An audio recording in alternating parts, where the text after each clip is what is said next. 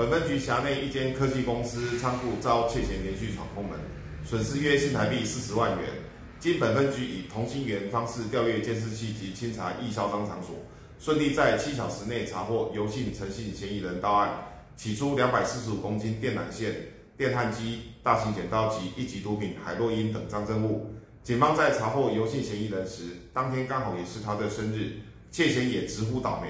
全案一加重窃盗罪及违反毒品危害防治条例依法移送法办。